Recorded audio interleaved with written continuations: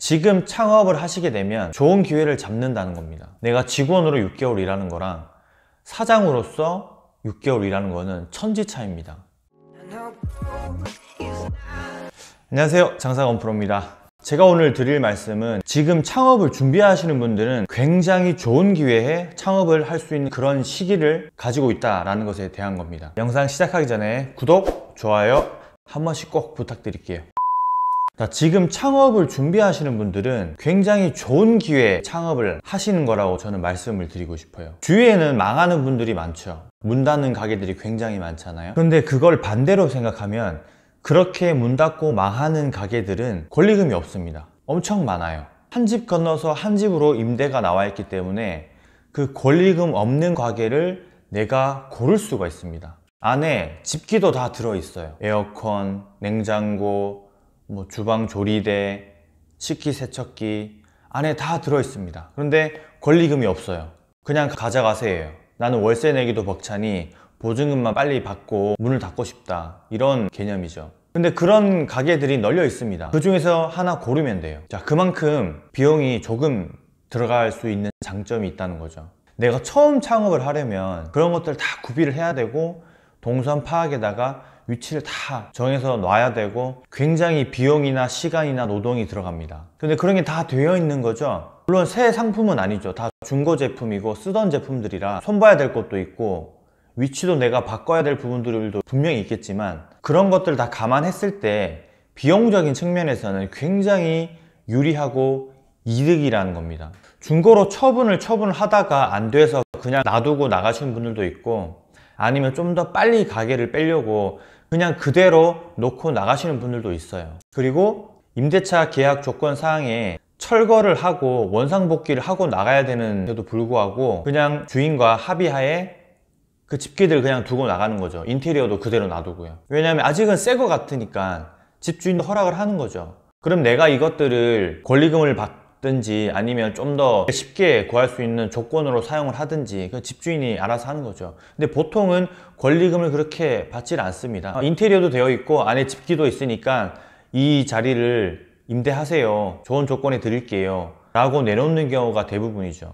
물론 일명 호구라고 하죠. 그런 분들에게는 시설 권리금으로 몇백만 원 정도 받기도 합니다. 아니 냉장고도 있고 에어컨도 있고 이거 그냥 팔기만 해도 얼만데 몇백만 원 주세요. 요것만 주시면 제가 그냥 드릴게요.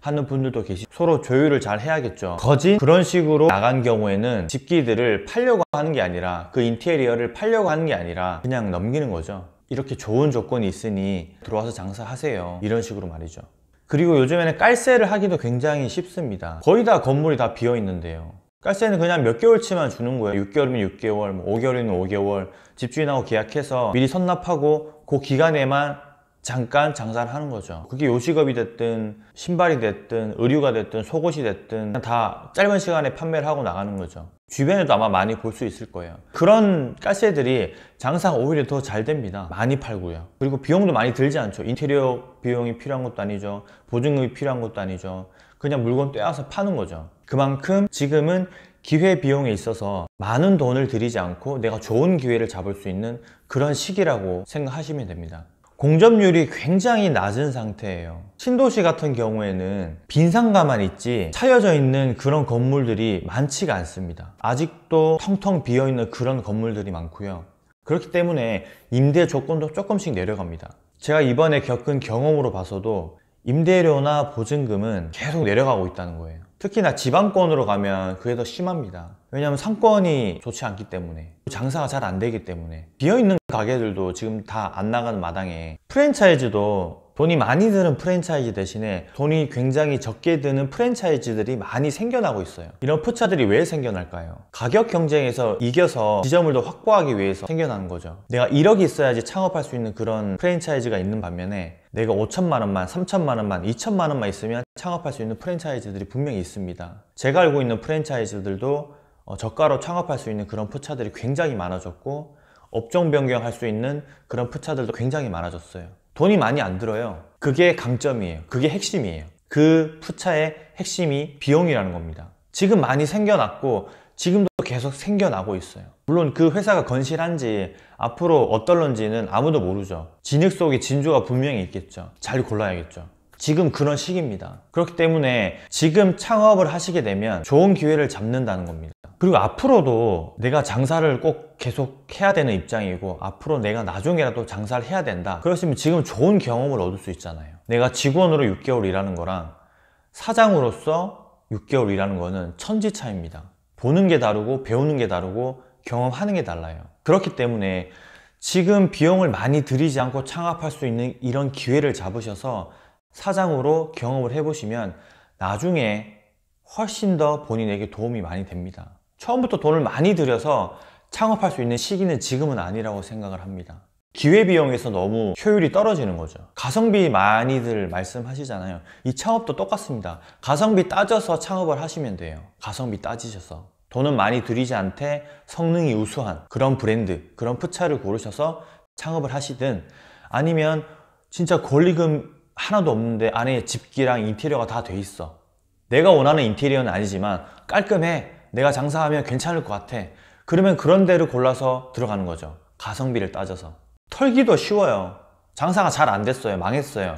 비용 많이 안 들어갔잖아요. 좋은 경험을 쌓았다고 생각하고 그냥 털어버리는 거죠. 내가 내 돈 주고 다 냉장고, 집기 다 산 거 아니잖아요. 있는 거 그대로 쓴 거니까 털기도 굉장히 쉽습니다. 그렇기 때문에 지금 창업할 수 있는 좋은 기회가 점점 더 다가오고 있다는 겁니다. 그거 명심하셔야 됩니다. 창업하면 다 망할 거라는 생각. 그러면 지금 창업을 누가 하겠어요? 아무도 창업 안 하죠. 근데 창업을 지금 다 하고 있잖아요. 그 중에 무조건 성공을 하거나 아니면 어느 정도 유지해 나갈 수 있는 그런 사람들이 분명히 있다는 거죠. 그런 좋은 기회들을 잡아서요. 조금만 발품을 팔고 조금만 노력하면 그렇게 할 수가 있어요. 그리고 이제 저가 프랜차이즈, 옥석을 가려야겠지만 저가 프랜차이즈도 굉장히 많죠. 창업 비용이 많이 들지 않는. 지금 저한테 다시 창업을 하라고 하면 무권리로 나와 있는 시설이 다 되어 있고 인테리어도 어느 정도 기본이 되어 있는 그런 곳을 한번 찾아볼 것 같아요. 다른 데보다도. 새 건물에 새로 인테리어 싹 다 해서 집기도 새 걸로 다 넣어서 그렇게 하고 싶은 생각은 없어요. 뭐 제가 돈도 많이 없을 뿐더러 그렇게 투자하고 싶은 그런 마음이 지금은 없습니다.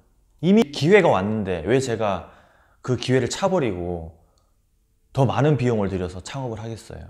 여러분들도 지금 창업을 생각을 하고 계시다면 꼭 그런 부분들을 한번 생각을 해보세요. 깔세, 무권리 인테리어, 무권리 시설, 그 다음에 저가 프랜차이즈 네 가지 꼭 명심하시고 창업 준비하실 때 어, 참고를 하셨으면 좋겠습니다. 네, 감사합니다. 장사 곰프로였습니다.